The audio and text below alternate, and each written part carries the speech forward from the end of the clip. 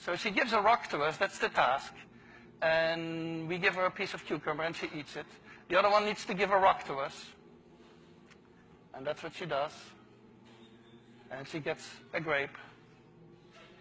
And she eats it. The other one sees that. She gives a rock to us now, gets again cucumber.